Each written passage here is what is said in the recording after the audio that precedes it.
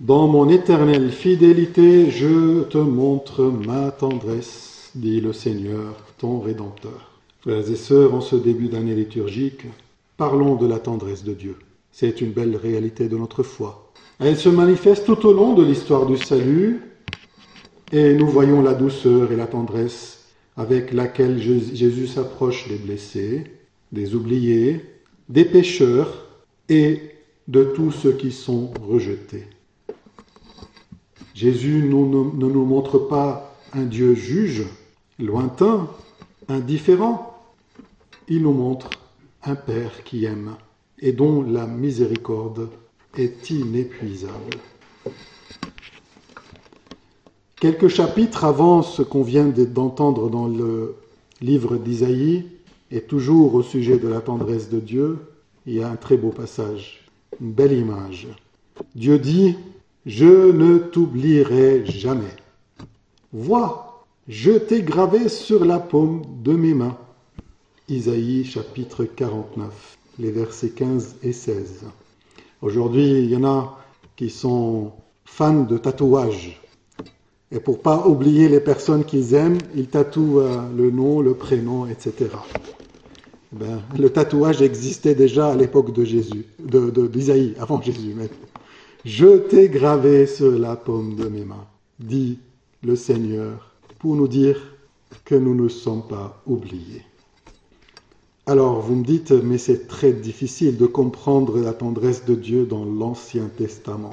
Je ne comprends pas beaucoup mieux que vous la tendresse de Dieu dans l'Ancien Testament, surtout dans le passage qu'on vient de lire et qui parle de, l'expansion de son peuple qui va venir envahir les autres et prendre leur place, etc.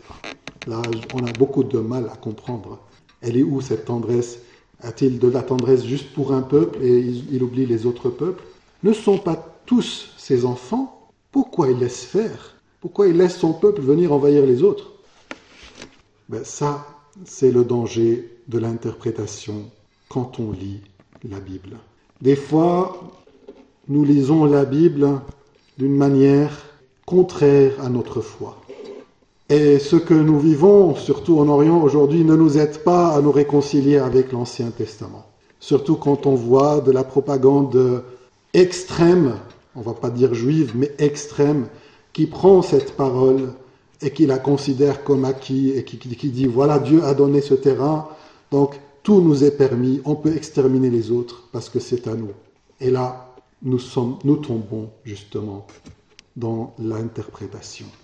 Est-ce que Dieu parle de ça quand il, quand il évoque sa tendresse? Je doute fort. Et pour nous aider à comprendre justement tout ça, il y a eu une continuité Dieu du Nouveau Testament n'est pas un nouveau Dieu, un autre qui n'a rien à voir avec l'ancien. C'est pour nous le même Dieu, c'est notre Père. C'est peut-être la compréhension, la compréhension humaine qui n'est pas pareille. Et ce qui va aider l'humanité à comprendre cette tendresse de Dieu, c'est ce que je disais au début de, de la messe, c'est la personne de Jésus-Christ, qui est au centre de notre année liturgique, qui est la lumière qui nous aidera à comprendre dans la foi la tendresse de Dieu. Alors il y a beaucoup de passages qu'on lira dans l'année liturgique pour voir cette tendresse de Dieu se manifester, non pas en parole, mais en action. Il va guérir, il va pardonner, il va être proche, il ne va pas délaisser des gens derrière lui. Combien de fois Jésus-Christ prend soin des malades, des aveugles, des estropiés, etc. Il les touche, il les écoute, et des fois il les guérit. Dieu ne veut pas la maladie pour nous. Dieu ne veut pas la guerre pour nous. Dieu ne veut pas le malheur, le malheur pour nous. Pourquoi on peut oser dire ça? Parce que nous l'avons écouté, nous l'avons vu dans les actions de Jésus-Christ.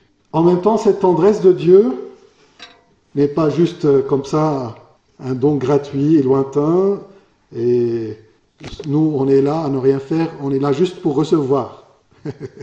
on n'a rien à faire de notre côté. Si, on a quelque chose à faire.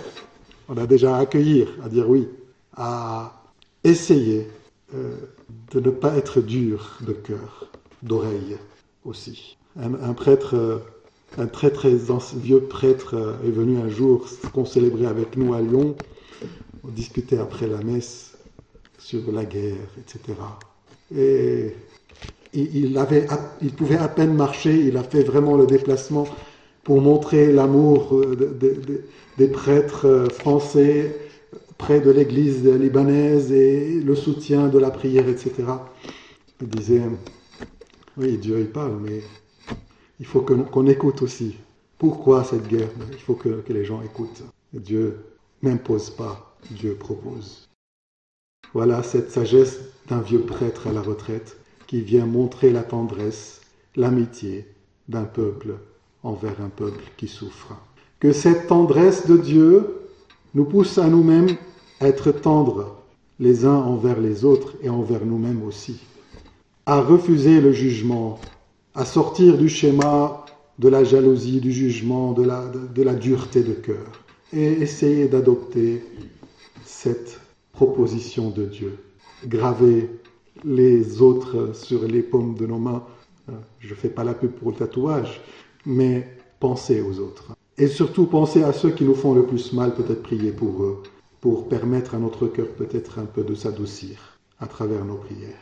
Au Seigneur la gloire pour les siècles des siècles. Amen.